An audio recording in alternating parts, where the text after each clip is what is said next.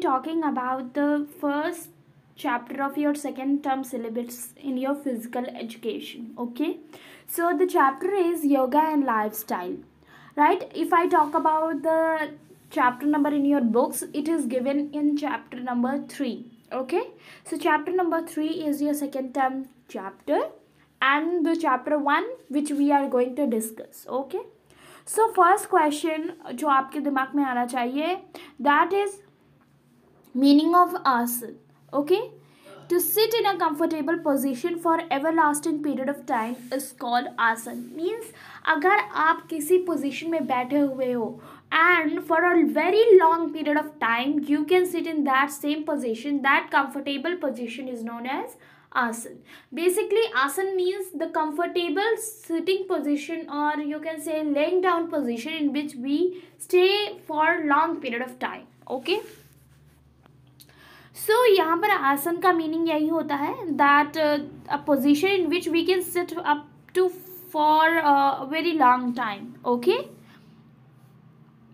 आसन and preventive methods right? Preventive methods means that avoids the bad effect in our life okay? Preventive measures यानी कि बहुत सारी lifestyle disease को ये हेल्प करते हैं हमें अवॉइड करने में। So we can perform asanas in order to avoid the any kind of lifestyle disease हमारी लाइफ स्टाइल डिज़ीज़ बहुत सारी होती हैं तो हमारे हर लाइफ स्टाइल के लिए अलग अलग आसन भी होते हैं।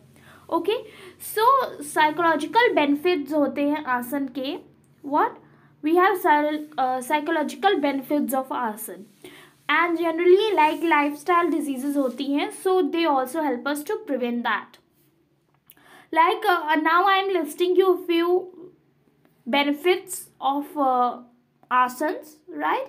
So here i have explained these asana benefits but now in the video I not be explaining it to you because इससे वीडियो बहुत बड़ा हो जाता है। मैं आपको just I will read down the point okay I will just read down the point and I will explain you the meaning in Hindi so पहला benefit जो दिया हुआ है वो है bones and joints become strong okay so यहाँ पर क्या है कि bones and joints become strong का मतलब है कि जब हम आसन परफॉर्म करते हैं तो ये डायरेक्टली हमारी बोन्स एंड जॉइंट्स को अफेक्ट करती हैं।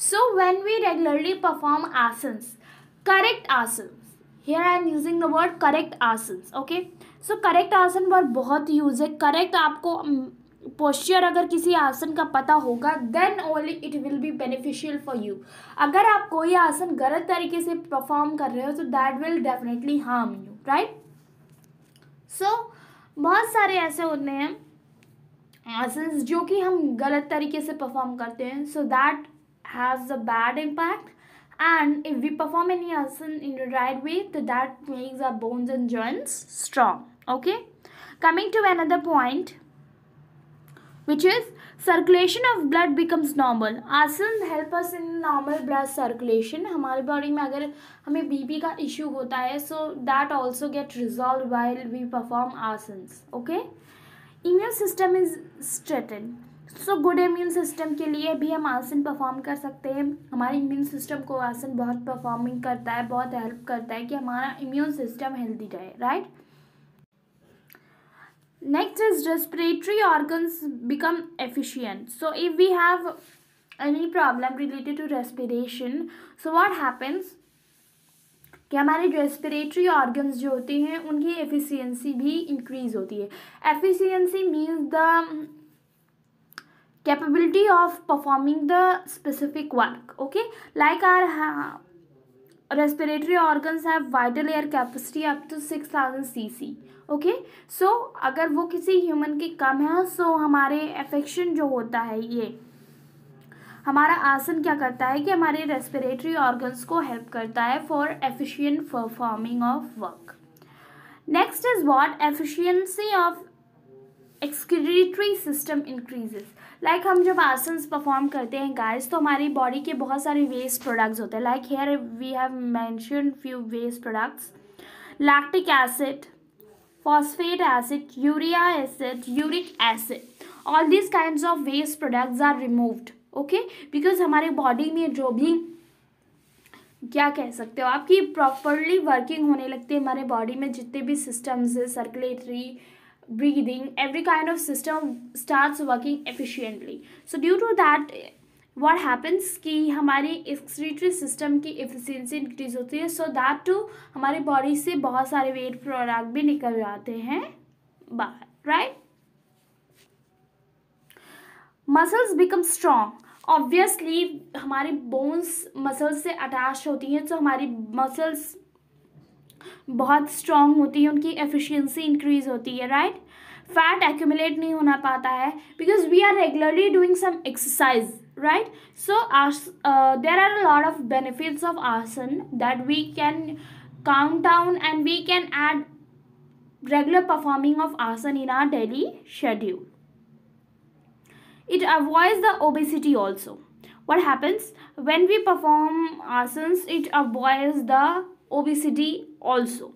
So here was uh, the benefits of asana that i told you. Now we will be talking about the various kind of asanas like we used to talk about vajrahasana right? Trikonasana so we will all be discussing about these kind of asanas now in this video we have like i told you uh, we have talked about the definition of asana so what is asana basically it is a comfortable position was it is it is a comfortable position in which a person can sit for everlasting time right coming to the presentative uh, present uh, preventive method right preventive method के तरीके भी हम आसन को use कर सकते हैं for example when we are performing asana so we have a lot of psychological benefits right so these psychological benefits avoid the various kind of lifestyle diseases that we can puff, uh, suffer from. Okay? So here are a few benefits. As i told you it is a quick revision guys right? So pehla hai bones and joints become strong. Bone and joints become strong. We have a good blood circulation in the body. Immune system becomes strong. Respiratory system start working efficiently. Okay your excretory system start working efficiently muscles become strong. We especially lose the problem of obesity right? Because we have every kind of asanas for lifestyle diseases. Now we will be talking about these diseases and the ourselves in our next video so stay tuned for that video i hope this video is clear agar koi doubt ho to aap log comment section mein mujhse पूछ sakte hain i will definitely solve count your doubts